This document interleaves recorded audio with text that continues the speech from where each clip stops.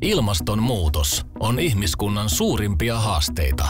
Maapallon keskilämpötila nousee, merenpinta kohoaa ja sääolosuhteet muuttuvat.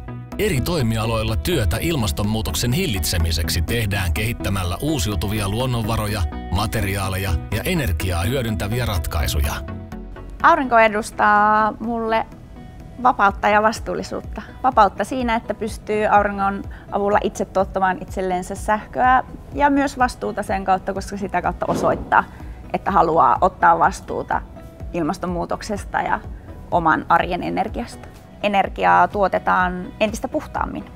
Tulee uusia tuotantomuotoja, jonka lisäksi asiakkaiden rooli kasvaa. Enää pelkät voimalaitokset ei tuota sähköä ja lämpöä, vaan jokainen meistä kuluttajista, niin yritykset kuin asuinrakennukset, kaikki on jatkossa myös energiantuottajia, mahdollisesti jopa myyjiä. Jokainen voi omassa arjessaan valita, mistä raaka-aineista tehtyjä tuotteita hankkii. Puupohjaiset tuotteet ovat aina kestäviä ja ne on hankittu myös kestävästi ja vastuusti hoidetuista metsistä.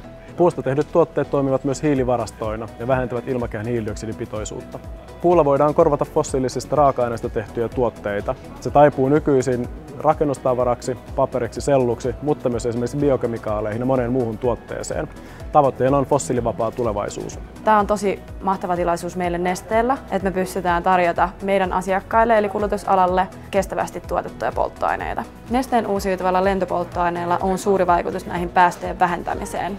Eli meidän polttoaineella, joka on valmistettu jätteistä ja tähteistä, voidaan sen koko polttoaineen elinkaaren aikana vähentää 80 prosenttia niistä päästöistä verrattuna fossiiliseen. Tekstiiliala on, on niin ihan mahtavassa murroksessa tällä hetkellä. Iso muutos lähtee tietysti ekanakin meidän kuluttajien käytöksen muutoksesta. Ennen kaikkea kun maailma käyttää tänä päivänä jo kolme kertaa liikaa resursseja, se luonnollisia resursseja. Toinen on toki, että tekstiiliala itse on havainnut sen muutostarpeen että heidän pelkonsa on se, että esimerkiksi puuvilla ei ole vaan riittävästi olemassa vastaamaan siihen kysyntään, mikä tulee kuluttajilta. Tämä muutos, mitä me ollaan tekemässä, niin tämä on ihan massiivinen mittakaavaltaan globaalisti.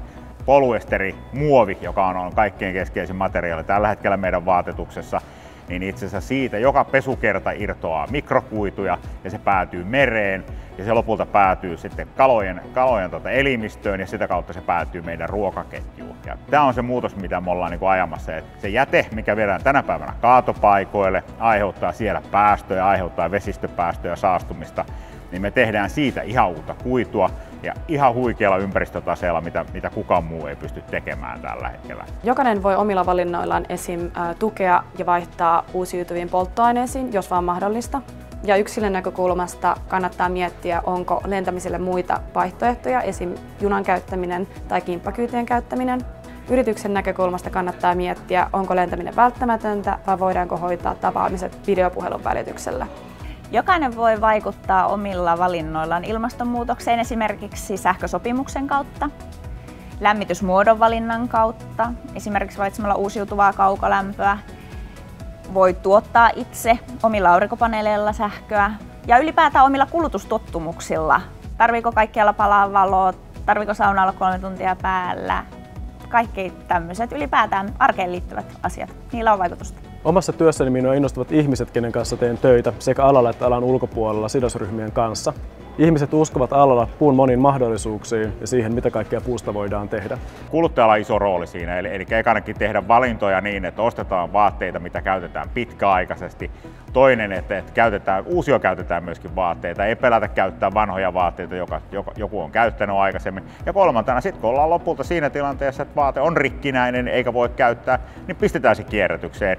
Mahdollistetaan se, että siitä voidaan tehdä ihan uutta fantastista kuitua.